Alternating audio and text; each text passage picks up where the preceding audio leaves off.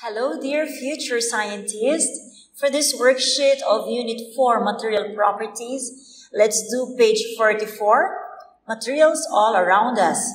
Number 1, complete the sentences below using these words, material, objects. Letter A, everything around you is made from a material or objects. Choose among these two. Letter B, all blank are made from a material.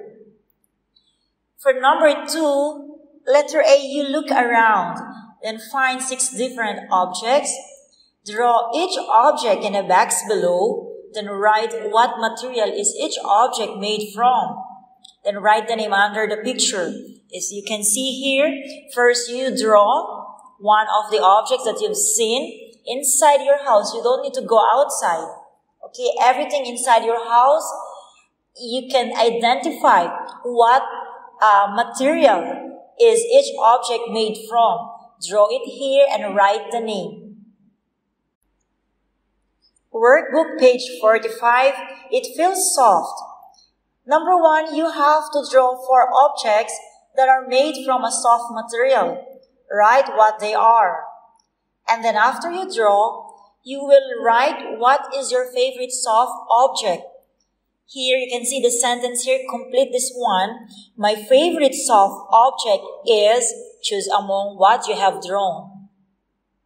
Workbook page 46, material properties. This time, you will draw six objects that are made from different materials that are hard, rough, rigid, soft, smooth, and bendy. The first one has been drawn for you. So there is a feather under the soft. Okay, draw a feather and it's there. The rest you will draw it. For number two, you will draw an object, but it is combined, smooth and bendy in materials. In workbook page 47, opposites. Now you have to look at the objects in each question below and then you choose the correct words in the box for each question. Then you have to circle them, the correct words to describe the object. For letter A, this ball is bendy, shiny, rough, rigid, dull, smooth. Choose which is the correct words for the ball. And then letter B, this tree trunk is bendy, shiny, rough, rigid, dull, smooth. How would you describe the tree trunk? And letter C, what about the straw? This straw is bendy, shiny, rough, rigid, dull, smooth. Now let's look at the answer key if you answered all correctly. Page 44, materials all around us.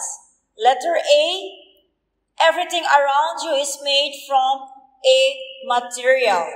Letter B, all objects are made from a material. Okay, so we completed the sentences already. Now let's go to question number two. You look around and then you found six different objects you drawn in here.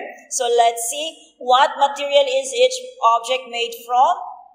Okay, let's first one is this is a plastic bottle. So the material is plastic. What else? This is a glass. Okay, a glass and the material is glass. How about this? These are hand towels. So hand towels are made of Okay, fabric. The material is fabric. And then these are uh, some old books or magazines. And the material is made of paper. You can see this in your kitchen. This is a wooden uh, chopping board, okay, from the word wood. So the material is made of wood.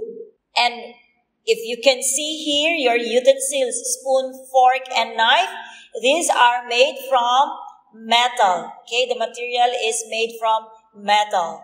Page 45, it feels soft. You were asked to draw four objects that are made from a soft material.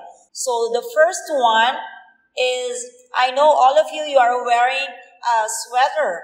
Now it's uh, winter is coming, so you have to feel, okay, the softness of the material of the sweater. And I know you love having a teddy bear or the stuffed toys. What else do we have? Also, pillow. I know we all love having a throw pillows, uh, sleeping pillows, a body pillows, okay? Also are made of soft material. And of course, our socks. That is why we feel comfortable wearing our shoes with a pair of socks. Now, what is your favorite soft object? Among these four objects you've drawn, so what do you think is your most uh, favorite? Now, for me, I chose pillow because I love to sleep or I can put it behind me when I'm doing my lesson. For workbook page 46, material properties, we will draw six objects that are made from materials that are first hard. So think about hard uh, objects. Okay, I draw here stone. Stone has a hard material. Now for rough, I put here basket. The material of this basket is rough. Okay, and rigid, not bendy. When you say rigid, not bendy, it is really tough. You cannot bend it. So I put it here a table. Okay, rigid but not bendy. For smooth, I put a plate. If you could touch your plate, the texture, the material is very smooth. And for bendy, I put rubber, okay, or eraser. So remember, you, I know you touch it with your rubber or your uh, eraser. The material here is bendy. Now, for number two, draw an object that is smooth and bendy. So you have to combine two materials, smooth and bendy. I chose for number two, draw an object that is smooth and bendy. So two materials that we are going to draw here. Plastic straw is a good example. Okay, so it has a smooth and bendy material. Workbook page 47, opposites. Now this ball is shiny, rigid, and smooth. Okay, that is how we describe the material for the ball. Now for the tree trunk is rough. Yeah, the material is rough. It is also rigid and it is also dull. Okay, rough rigid, dull, that is the tree trunk. How about the straw? I already described the straw in activity, page 46. Now here, we will describe straw as bendy. You can move the straw to the left, to the right, okay? And it is dull.